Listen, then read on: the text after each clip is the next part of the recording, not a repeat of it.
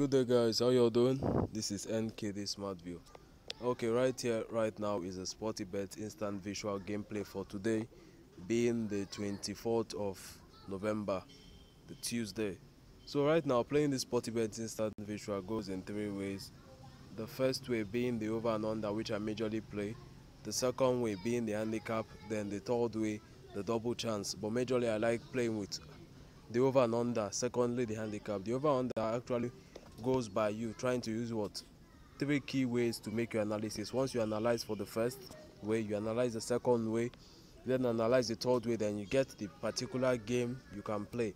There are no selected teams. Any team can get the cutoff. All you need to do is use your three major ways of selection. Now, starting this game, I started with the amount of 2,000 naira. Okay, almost 2,000 naira. And uh, right now, I'm at um, 2,000 to starting up by um, that was by when? 441 by 5 o'clock i was at what? 4062 by 503 4935 by 505 5006 by 505 again my next game. This is um lucas to chelsea here by the 7505 my next game leeds chelsea 6001 the next game by 508 everton leicester.